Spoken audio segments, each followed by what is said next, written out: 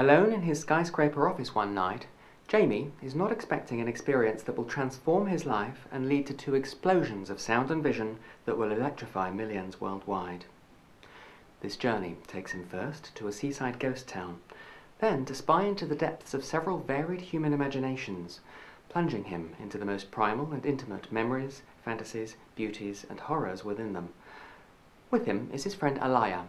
whose unearthly wordless vocals combine with his gigantic flicker of visuals from their hiding place in the ruins of a grand hotel by the sea. Blackmailed into thieving the most private material he has found in those imaginations, they find a simmering web of secrets and provocations beneath the surface of this town, triggered by suspicions of his spying and stoked by pre-existing loves and hates.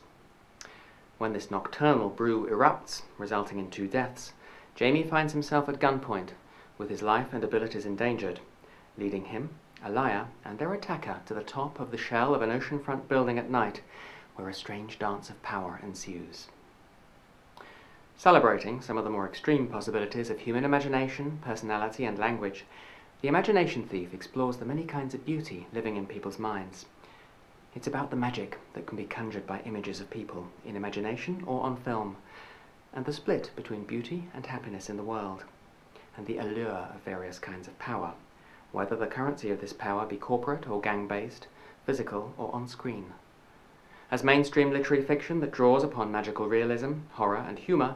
it shakes the bars of the universal human predicament wherein each of us is so richly imprisoned inside one unique mind, out of all the other minds where we might have been imprisoned instead.